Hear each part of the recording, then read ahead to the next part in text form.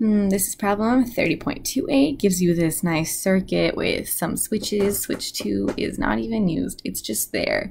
Um, wants some potential differences, more potential differences, and more. Okay. A is wondering just after S1 is closed. What is the potential difference? VAB. So right here. Woohoo! Zero volts.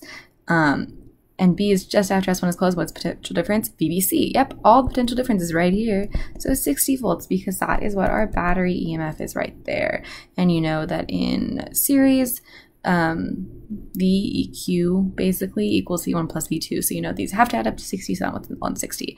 After a long time, what is AB? Boom, now we're switched. That one's at 60 and that one's at zero. E and F we're actually going to do some math with to find the intermediate times.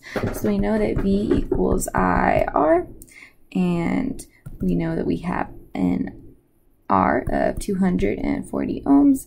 You have this I of 0.15 because that's what they just gave me. And so we found that it's 36 volts and that's for E. F is what it's B VBC, so that's for A. This 36 volt is here. The resistance was 240. That's the resistance of that. That you want VBC, and like we said, in a series, V total equals V1 plus V2. We know V total is 60 because that's what batteries give us. V1 is this 36. We're trying to find our V2, which is going to be 24 volts. And that's for F. Boom, whole problem right there.